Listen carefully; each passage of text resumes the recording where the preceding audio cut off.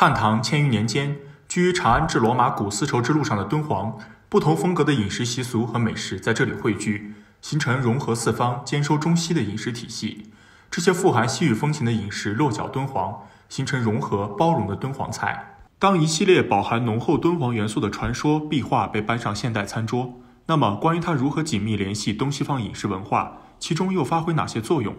多年从事敦煌菜资料收集和归纳的国家特一级烹调师赵长安近日接受中新社《东西问》独家专访，对此进行深度解读。呃，敦煌菜啊，应该说，这个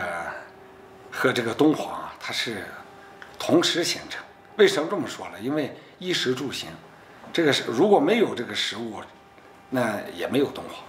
也没有丝绸之路。所以我们在研究这个的时候呢，因为不同的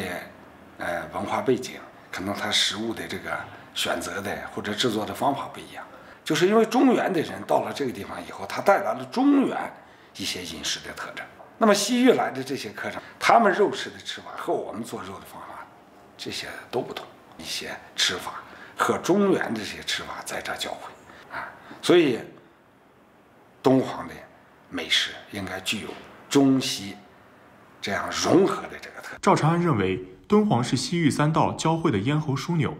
西域各民族往来期间，将他们的饮食口味、烹调手法带到敦煌。南方的米饭、茶茗，北方的素米饭、馓子，西域的糊饼、烤饼，都反映着敦煌饮食东西兼容、四方符奏的特点。敦煌菜是融合的菜，是多民族交融的菜，是一个没有国界的菜，是吧？你比如说我们做的招五谷法羊类，实际上它是粟特人的一个饮食方式，所以这些特征。也给我们敦煌菜的研究提供了一个总体上的思路。现在敦煌出土的，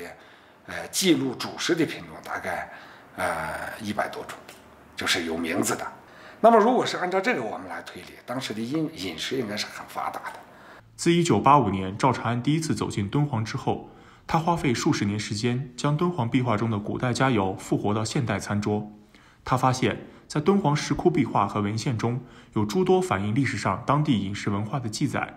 结合甘肃河西走廊地区现存的土家菜做法，这些都成为了敦煌菜理论研究的依据。第一是敦煌壁画，因为敦煌壁画这个里头啊，这个呃也有大概六十多幅，是比较具体的。那么这些壁画它记录的有的很生动的，像它的这些这些宴饮图啊，这些你看一个颜色也很好。记录当时的人们饮食的这个场面，那么还一块呢，就是敦煌的医书，像那个《本草食疗》，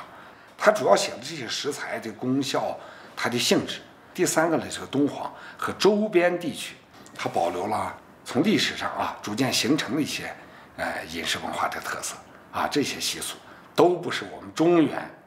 民族的，或者是汉民族的。那么从这个角度来看，就它饮食习俗也给我们提供了好多。我们研究的一些东西，敦煌菜自成体系以来，在国际上的名声渐盛，